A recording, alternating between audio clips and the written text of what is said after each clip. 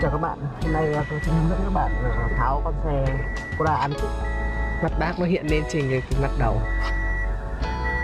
Ờ, thiết bị các bạn gồm có cái móc này cái T10 hoặc là cái cậy nở. Cái cậy nở có thể thay cái móc này nhưng mà tôi hay dùng cái móc. Bây giờ bước đầu tiên các bạn tháo là các bạn tháo con này là các bạn tháo như thế này. Tháo cái đấy trước. Đó. Bên này cũng vậy cái ra. Tiếp theo là bắt dùng các bạn dùng cái móc hoặc là cái tô vít cho vào đây, kéo cái này ra. Để dùng cái móc nó tiện hơn. Bạn kéo nó ra. Các bạn bên này kéo ra. Lúc kéo ra thì hơi cứng. Bạn dùng tô vít các bạn bẩy nó lên để nó cũng hơi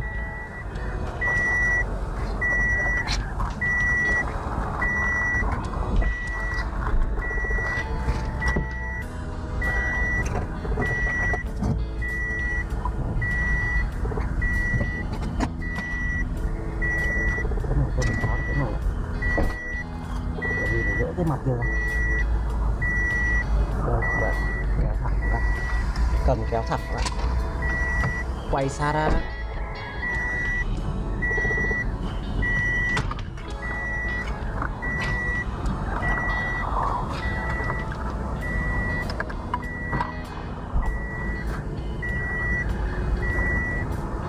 đã xong phần tháo mặt chữa rồi bây giờ các bạn cần tháo bốn cái ốc dùng T10 tháo bốn cái ốc này uống bốn xong này. Thì các bạn sẽ tháo được nó ra. Cảm ơn các bạn đã xem video.